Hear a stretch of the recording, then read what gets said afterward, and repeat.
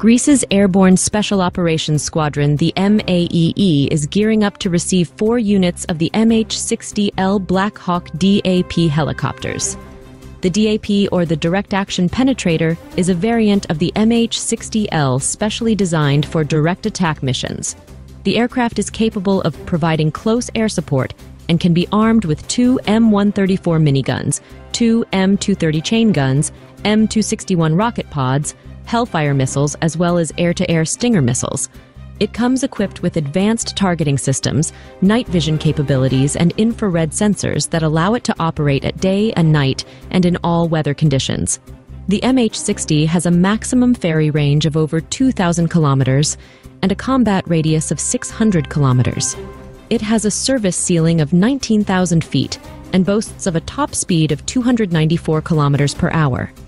The MH-60L features advanced avionics and enhanced survivability features that allow it to operate effectively even in hostile environments. The acquisition of the MH-60L is being looked at as a power multiplier that would skyrocket the operational capabilities of the MAEE upon its induction.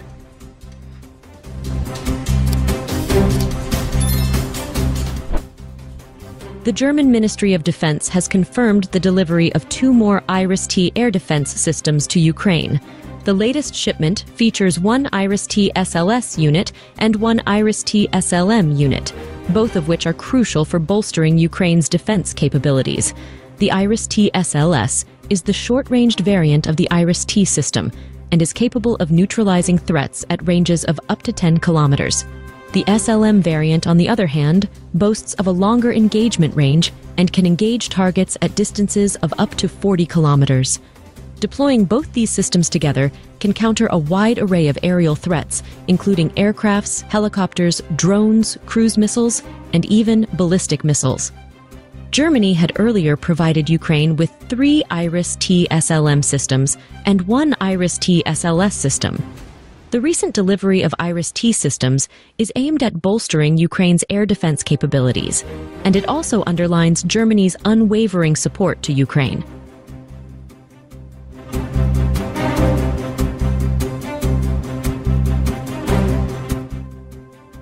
The Indian Ministry of Defense is gearing up to acquire nearly 5,000 units of the indigenous Vajra air defense system.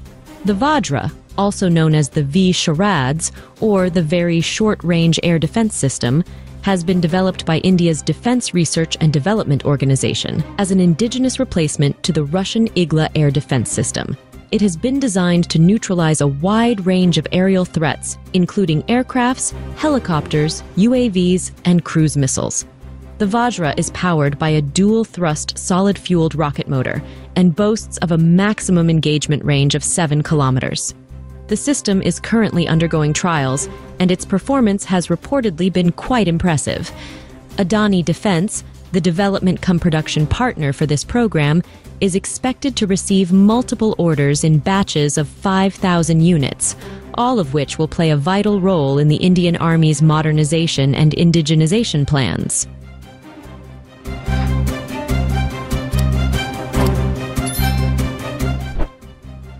Bangladesh, a longtime customer of Chinese military hardware, has lodged multiple complaints with Beijing regarding the supply of defective components and technical issues with Chinese weapon platforms. Bangladesh has alleged that most of the weapons sold by China are obsolete and are based on outdated technology copied from the West. The Bangladesh Navy has found its Chinese corvettes and petrol crafts to be riddled with multiple manufacturing defects and technical problems. In a separate incident, its Air Force encountered numerous problems with its F-7 fighter jets, air defense systems, and K-8W aircrafts, with the Chinese radars having failed to meet the required accuracy standards.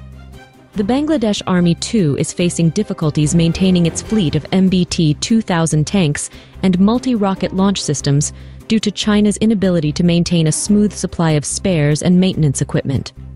Frustrated, Bangladesh is now planning to replace its Chinese multi-rocket launch systems with more reliable Turkish alternatives.